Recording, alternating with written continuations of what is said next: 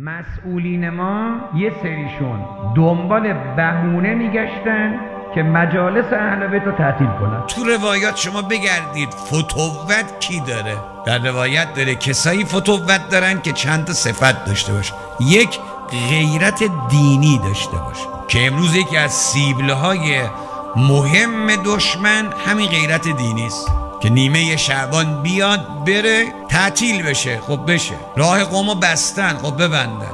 اما کسی که غیرت دینی داشته باشه بگه بابا سینماها ترکیه کیش همه اینا باز. ولی کربلا که می‌خوای بری کرونا. که خیلی راحت از کنارش رد میشیم چون غیرت دینی نداریم. ما منکر کرونا نیستیم. ولی چرا وقتی به مجالس دینی می‌رسه؟ کنهو مسئولین ما یه سریشون دنبال بهونه میگشتن.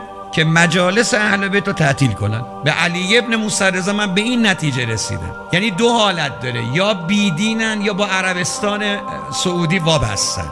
یا هر دوتاش چرا مسئولین جرأت می‌کنن جلسات دینی رو تعطیل کنن؟ به خاطر بیغیرتی مردمه. ما بیغیرت شدیم. ما فتوتمون از دست دادیم. ما پای علی وای نمیستیم ما پای امام زمان نمیستیم بگیم بله کیشم ببندید کنسرتارم ببندید بازارم درشو ببندید تا جلسات دی. اما اولین جایی که شد حرم بود. یه عده خوشحال شده فتوت کسی داره که غیرت دینی داشته باشه.